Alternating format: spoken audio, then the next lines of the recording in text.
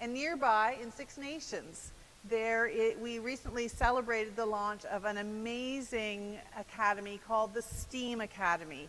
And this has been done in part with support of IBM to implement an amazing curriculum.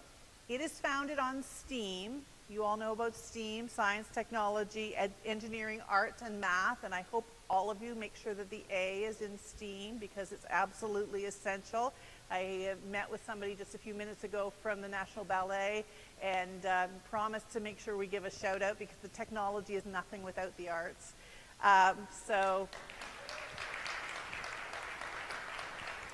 here's to the humanities, long may they live.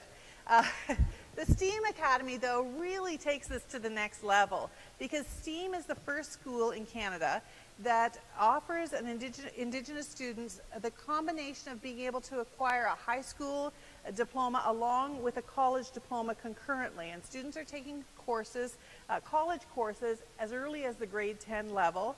They finish the program in five or six years and they have their Ontario Secondary School diploma as well as a two-year college technician diploma.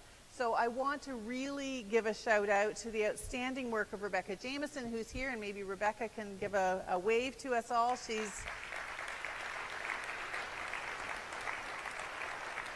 She's the genius uh, behind Six Nations Polytechnic, as well as Aaron Hobbs, who is the president of the STEAM Academy. And they are here today with three very special people who I'll ask to stand.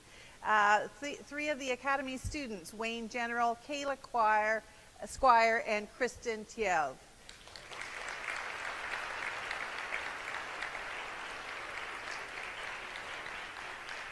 I had the opportunity, thank you so much for being here. I had the opportunity to visit the STEAM Academy, and what actually impressed me the very most is not only the amazing technology that they've got there and the fantastic education these young people are getting, but a beautiful blending of technological education with Indigenous arts and culture.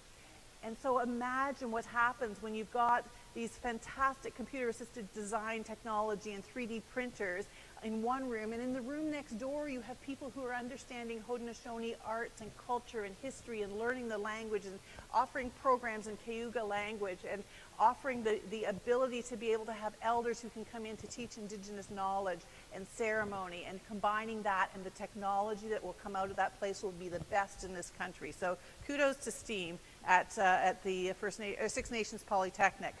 There are so many examples of progress to highlight, but there's much more that needs to be done.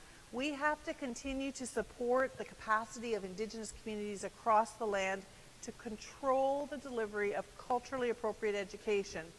I'm very proud to say that with the result of investments from our government, we are going to reach the time very soon, this year, where for the first time, there will be equitable funding for First Nations on reserve.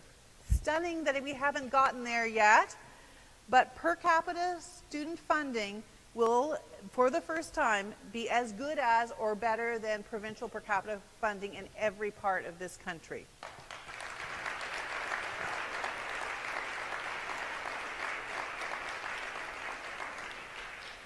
Education is the key to hope and opportunity for every one of us.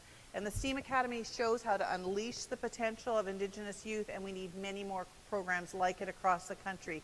I hope you and your organizations will be looking at other ways to develop similar partnerships between the private sector and Indigenous communities to design and test some of these creative ways of getting Indigenous youth into the workforce and being able to uh, enjoy what they will be able to contribute there. And later this afternoon, I'm really looking forward to meeting with business leaders and uh, STEAM Academy leaders and students as we explore these kinds of partnerships and find ways that we can particularly make sure that we create uh, self-evident uh, pathways for high-skilled jobs as, uh, as a part of our discussion.